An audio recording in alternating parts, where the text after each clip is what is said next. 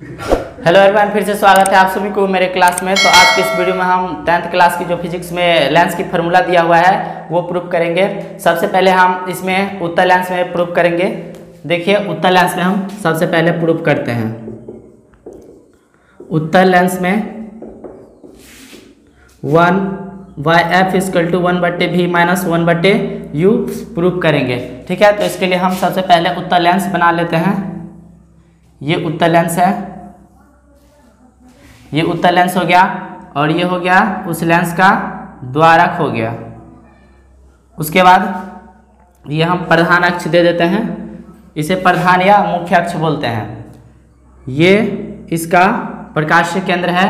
यहाँ से यहाँ तक इसका हम फोकस मान लेते हैं।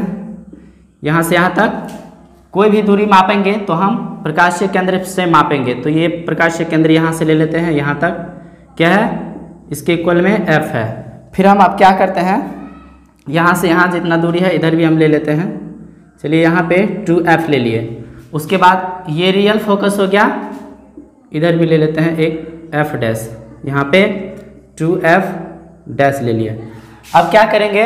इस लेंस का हम नाम दे देते हैं एल इस लेंस का हम नाम दे दिए एल अब क्या करते हैं? एक वस्तु हम यहाँ पे रख देते हैं। एक वस्तु हम कहाँ पे रखें? इधर होगा अनंत और ये ट्वेल्व। अनंत और ट्वेल्व के बीच एक वस्तु रखें, लेंस के सामने। तो इसका प्रतिबिंब देखिए कहाँ बनेगा। सबसे पहले प्रधान अक्ष के समांतर जो भी किरण जाता है, उसके मुख्य फोकस से होके चला जाता है। तो इसके समांतर एक किरण गया। अब ये गुजरेगा कहाँ से? अपवर्तन के बाद फोकस से होके निकलता है। चलिए यहाँ पे हम मान लेते हैं, यहाँ है फोकस उसके बाद दूसरा किरण अगर प्रकाशीय केंद्र से जाता है तो अपवर्तन के बाद सीधे चला जाता है। तो हम यहाँ से ये ले लिए। इसको यहाँ कर लेते हैं टू एफ़। अब देखिए, जहाँ पे कटता है, दो रेखा आपस में जहाँ पे कटता है, प्रतिबिंब वही बनता है। तो यहाँ पे कटा तो प्रतिबिंब यही बनेगा। कैसा बनेगा? देखिए, ये वस्तु जो है, सीधा है और प्रतिबिंब उल्टा बना। ठीक? यहाँ पे हम इसका नाम दे देते हैं ए बी ए बी क्या है? एक वस्तु है जिसका प्रतिबिंब A dash and B dash है। अब क्या करेंगे? यहाँ से यहाँ से लेके यहाँ की दूरी कितनी होगी?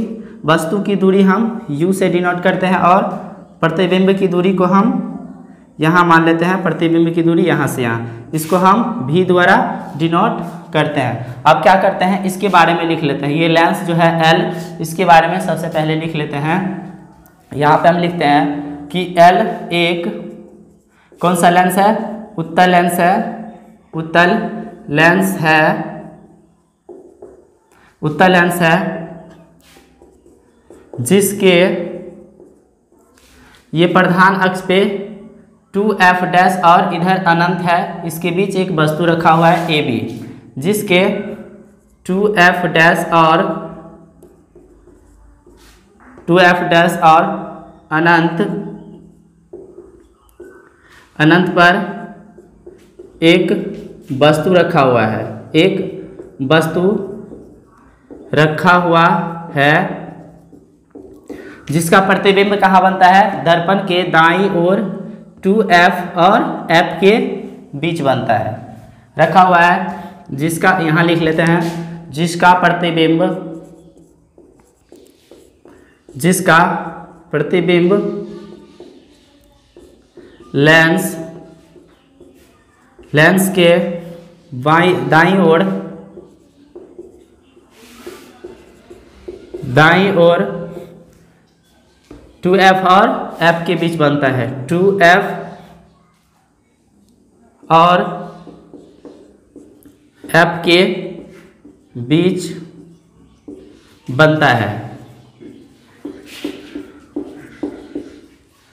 बीच बनता है। अब क्या करेंगे?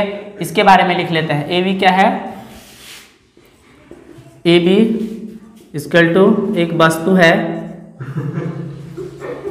एक वस्तु है।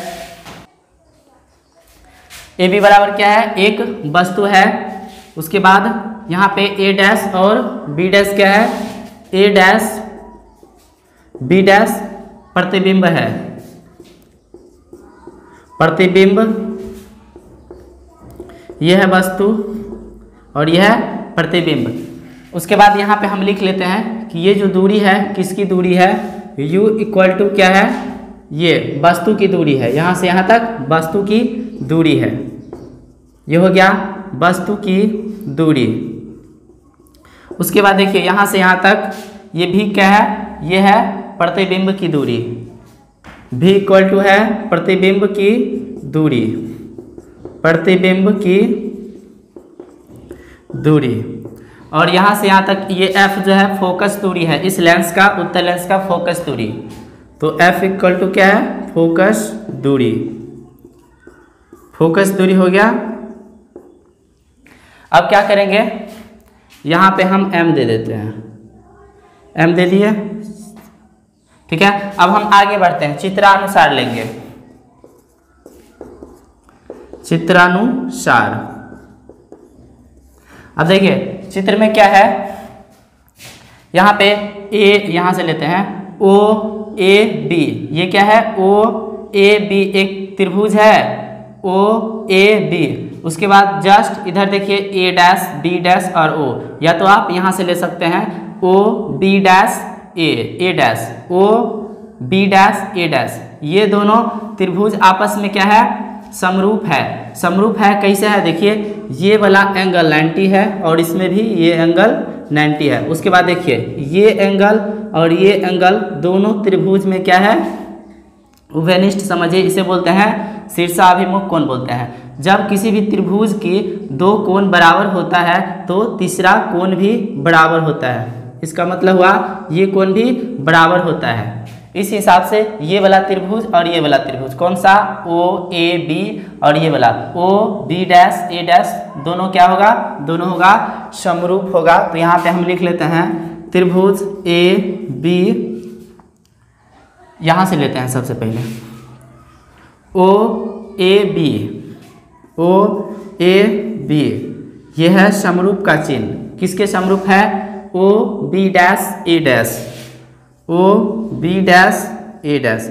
अब आपको पता होगा कि जब दो त्रिभुज समरूप होता है तो उस, उसका भुजा क्या होता है? समानुपाती होगा।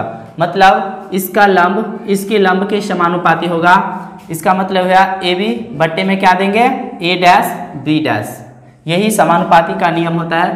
तो यहाँ हम लिख लेते हैं ए बी बट्टा में ए डैश, बी डैश। क्या लिखे? ए बी के समानुपाती होगा ए डैश, बी डैश। अब क्या करेंगे? Equal to equal to. आप यहाँ देख सकते हैं, इसका जो आधार है यहाँ से ओ, ए या ए ओ, किसके समानुपाती होगा? बी डैश ओ के। किसके होगा? बी डैश ओ के तो हम इसके बट्टा में क्या लिख सकते हैं? ये वाला लिख सकते हैं। मतलब ओ, ए समानुपाती किसके होंगे? ओ, बी डैश के। इसको हम फ़र्स्ट इक्वेशन मान लेते हैं। इसको हम फ़र्स्ट इक्वेशन मान लेते हैं। अब देखिए, यहाँ पे ओ एम को हम मिला देते हैं एक बार। इसको ओ एम को हम मिला दिए। ओ एम को मिलाने पे आप देखते होंगे कि ये वाला यहाँ से लेते हैं। ये एफ़ यहाँ नहीं है। ये एफ़ यहाँ है। F O M F O M और ये F B dash A dash ये दोनों त्रिभुज बन रहा है। यहाँ से देख सकते हैं। ये त्रिभुज हो गया और ये वाला त्रिभुज हो गया। F B dash A dash और एफ़ ओ एम देखिए, इसमें 90 है और इसमें भी 90 है। ये वाला एंगल और ये वाला एंगल दोनों में क्या है? शीर्षा अभिमुख कोण है। मतलब ये एंगल x होगा तो इसका भी x होगा। ये 90 है, ये 90 है। ये कोण ये कोण दोनों में बराबर है तो तीसरा कोण भी बराबर होगा। और जब तीनों कोण बराबर है, इस हिसाब से क्या होगा? ये त्रिभुज, इस त्रिभुज के क्या होंगे? समरूप होंगे। तो हम यहाँ पे लिख लेते हैं ओ एम ओ एम को मिलाने पर ओ एम को मिलाने पर क्या बना?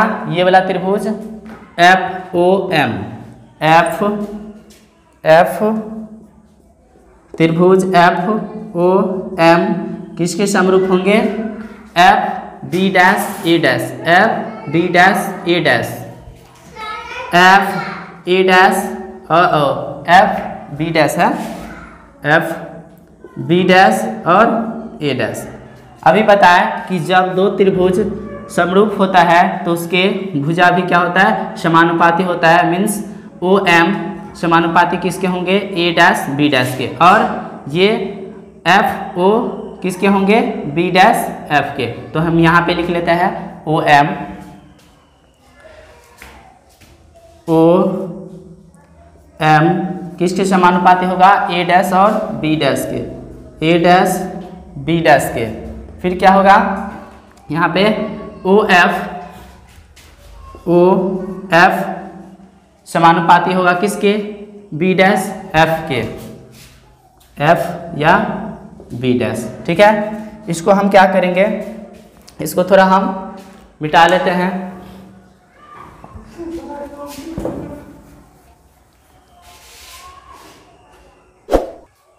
अब क्या करेंगे? देखिए, यहाँ पे हम लिख लेते हैं। इसमें आप देखते होंगे ओ एम ये जितना लंबाई है, उतना ये लंबाई किसका है? ए बी का। मतलब ओ एम के बदले हम क्या लिख सकते हैं? ए बी लिख सकते हैं। ओ एम की जितनी लंबाई है, उतनी लंबाई है ए बी की। इसीलिए हम इसके बदले हम क्या लिख सकते हैं? ये लिख सकते हैं। तो हम यहाँ पे क्या करेंगे? इसको हम उठा के यहाँ ले जाते हैं। ठीक है? तो यहाँ पे लिखते हैं ओ एम बटे में है ए डैश और बी डैश इक्वल टू है ओ एफ़ बटे में है एफ़ बी डैश ठीक है? उसके बाद हम इसके बदले क्या लिखेंगे? ए बी लिखेंगे।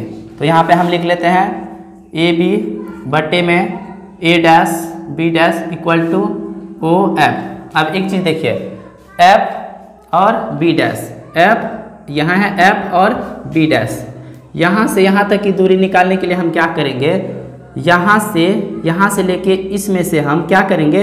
इतना निकाल देंगे तो इतना नहीं बच जाएगा। हम क्या किए हैं? यहाँ से यहाँ तक की दूरी निकालने के लिए पूरे में से इतना हम घटा दिए। मतलब यहाँ से यहाँ तक का दूरी कितना होगा?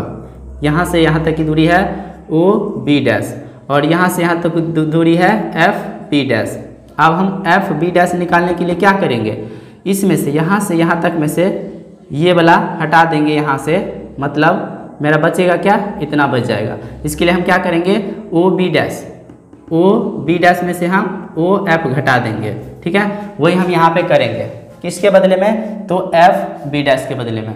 एफ़ बी डैश के बदले में ओ बी डैश में से यहाँ लिखते हैं ओ बी डैश में से ओ एफ़ घटा रहे हैं।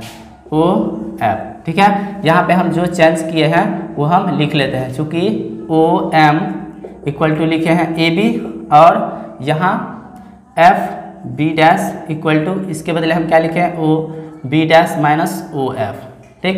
यहाँ पे जो चेंजेस किया हैं यहाँ पे लिख दिए। अब क्या करेंगे? इसको हम इक्वेशन सेकेंड मान लेंगे। अब हम लेंगे यहाँ इक्वेशन फ़र्स्ट और सेकेंड से। यहाँ हम लिख लेते हैं equation from equation first and second से। सेकेंड से। देखिए, यहाँ ए बी बटे में ए डैश बी डैश यहूँ है ए बी बटे में ए डैश बी डैश दोनों में सेम है, इसीलिए ये दोनों क्या होगा? कैंसिल हो गया। इसमें क्या बचा? ओ बी यहाँ पे बचा है ओ सॉरी ओ ए है। ओ ए बटा में O B dash O B dash equal to इधर क्या बचा है? ओ एफ़ बटे में O B dash minus O F अब क्या करेंगे? चिन्ह परिपाटी का कहने का मतलब जैसे इसको हम मूल बिंदु मानेंगे। इसको हम मूल बिंदु मानेंगे और इधर वाले क्या होते हैं? माइनस होते हैं और इधर वाले प्लस में होते हैं। मतलब इसको हम मूल बिंदु माने, इधर वाले क्या होगा? जितना भी वैल्यू होगा, जैसे यू है तो यू इधर माइनस में होगा और इधर जैसे एफ़ हो गया भी हो गया तो ये प्लस में होगा। वही चिन्ह परिपाटी होता है, इसका प्रयोग करेंगे और सबका मान बारी बारी से रखेंगे। तो देखिए ओ ए ओ और ए यहाँ से यहाँ तक की दूरी क्या है? यू है। चलिए हम यहाँ पे यू लिख लेते हैं। U.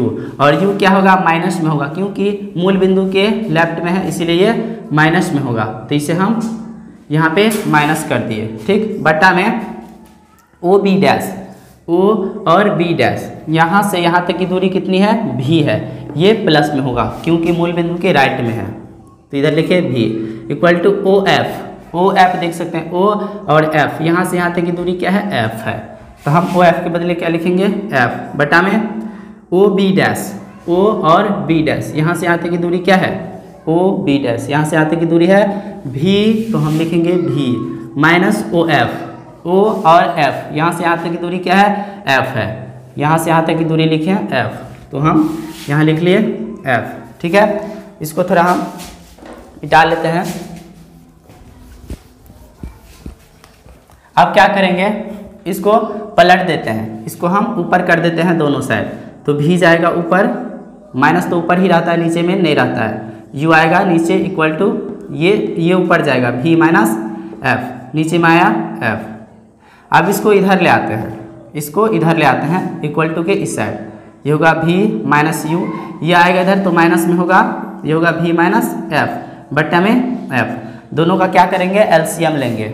कितना होगा यू और एफ़ यू एफ़ अब देखिए u से u गया, बचा क्या? F. F को आप किससे गुना करेंगे? भी f होगा। भी से करेंगे तो। उसके बाद f से f गया, बचा क्या? U. U बचा। U से अब दोनों को हम गुना करेंगे भी माइनस एफ़ को।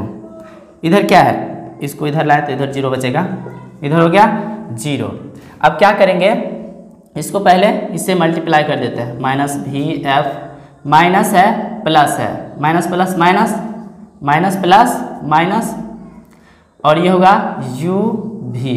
फिर minus minus plus u F. U F बटे में क्या होगा? U F equal to zero. इसके नीचे कुछ नहीं तो वन होगा। अब क्या करेंगे? क्रॉस मल्टीप्लिकेशन करेगा। मतलब कोना कानी गुना करेंगे। तो देखिए, इस सभी को जो हम वन से करेंगे तो उतना ही होगा। मतलब minus v F minus u v plus u F equal to इसको हम ज़ीरो से करेंगे तो ज़ीरो अब क्या करते हैं? इसको हम समीकरण थर्ड मान लेते हैं। समीकरण थर्ड मान लेते हैं। अब क्या करेंगे यहाँ पे? समीकरण थर्ड को या थर्ड में यू भी एफ़ से भाग करने पर, भाग करने पर। क्या करेंगे? दोनों साइड भाग देते हैं। माइनस यू एफ़ है। माइनस में यहाँ यू भी है। प्लस यू भी है। प्लस यू एफ़ है। यू एफ़ इक्वल टू क्या है? ज़ीरो। इसमें हमको भाग देना है दोनों तरफ़ किससे यू भी एफ़ से। यू भी एफ़। बटे में यू भी एफ़। अब बारी बारी से देते हैं। सभी के बट्टे में है अलग अलग करके भाग देंगे। तो ये होगा कितना? Minus v F. बट्टे में यू भी एफ़। माइनस है तो माइनस यू, ये भी है तो भी। बट्टे में यू भी एफ़। फिर प्लस है तो प्लस यू एफ़। ये यू एफ़। बट्टे में ये वाला यू भी एफ़। इक्वल टू ज़ीरो के बट्टे में यू भी और एफ़। देखिए एफ़ से एफ़ गया भी से भी गया। बचा के इधर? माइनस ऊपर में वन बटा में यू फिर यहाँ माइनस है तो माइनस भी से भी यू से यू बचा क्या? ऊपर में वन नीचे में एफ़ फिर प्लस है तो प्लस ये एफ़ से एफ़ गया यू से यू गया। बचा क्या? ऊपर में वन और नीचे में भी इक्वल टू किसी भी संख्या में ज़ीरो में किसी भी संख्या से भाग देंगे तो होगा ज़ीरो ठीक है? अब आगे बढ़ते हैं। इसको क्या करते हैं, हमको लाना है one by F equal to कितना है? वन बट्टे भी माइनस वन बट्टे क्यू लाना है। तो हम इसको उधर ले जाते हैं, बराबर के उस साइड ले जाते हैं वन बट्टे एफ़ को। तो इधर क्या बचेगा? वन बट्टे यू प्लस वन बट्टे भी ये माइनस में है, बराबर की तरफ़ जाके क्या होगा? प्लस में हो जाएगा। अब देखिए, इसको हम पहले लिख लेते हैं प्लस वाला को। तो कितना होगा? वन बटे भी माइनस है तो माइनस वन बटे यू इक्वल टू वन बटे एफ़। आप देख सकते हैं, ये हमारा प्रूफ हो गया। इस प्रकार आप लेंस की फार्मूला को प्रूफ कर सकते हैं। ये है लेंस की सूत्र है। ये ये था उत्तल दर्पण में। यहाँ हम लिख देते हैं उत्तल। ओ सॉरी उत्तल लेंस होगा। उत्तल लेंस का था ये। अब हम अगले वीडियो में, अब हम अगले वीडियो में करेंगे अवतल लेंस का। सेम फार्मूला है लेंस अलग है।